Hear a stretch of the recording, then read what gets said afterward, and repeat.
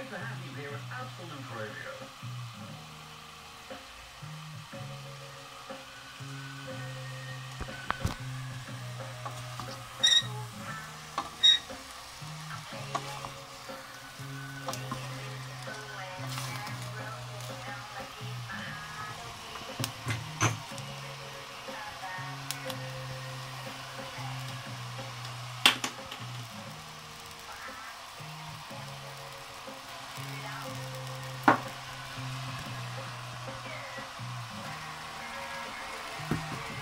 Bye.